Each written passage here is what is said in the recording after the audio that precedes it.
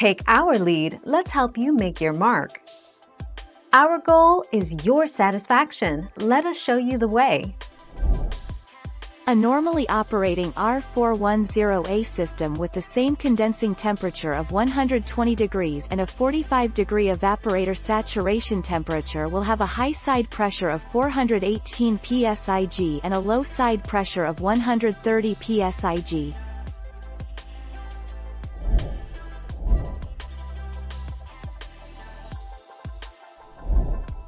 Take our lead.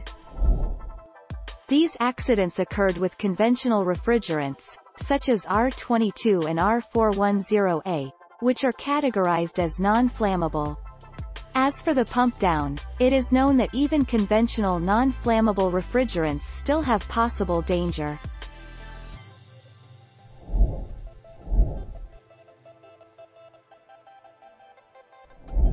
Make your mark, take our lead.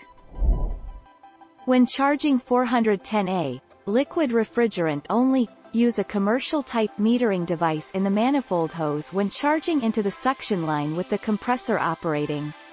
Manifold sets should be a minimum 700 psig on the high side and minimum 180 psig low side, with 550 psig low-sided retard.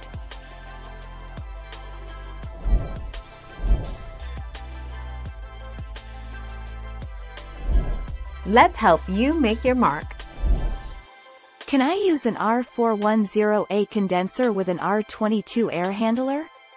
No, you cannot. To make a short story long, R410A and R22 are refrigerants.